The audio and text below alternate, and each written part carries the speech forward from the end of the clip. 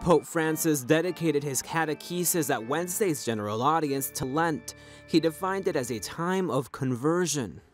La Quaresima è un tempo forte, un punto di svolta che può favorire in ciascuno di noi il cambiamento, la conversione. Tutti noi abbiamo bisogno di migliorare, di cambiare in su, di cambiare per il bene. Pope Francis asked Catholics to better live out their baptism. This way, he said, they won't passively accept a world that doesn't pay attention to God, in which parents don't teach their children to pray.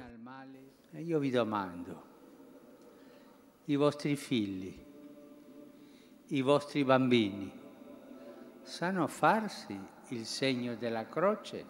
Pensate, i vostri nipoti, sanno farsi il segno della croce?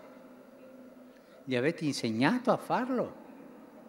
Pensate e rispondete nel vostro cuore. Pope Francis added that Lent also helps overcome challenging situations like violence and poverty. As the weather improves, Pope Francis spends even more time greeting pilgrims on board his Pope Mobile before the general audience. This week, one of the groups that caught the Pope's attention were these children dressed in yellow.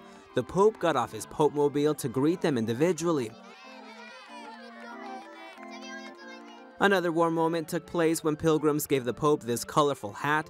After blessing it, Pope Francis didn't hesitate to try it on.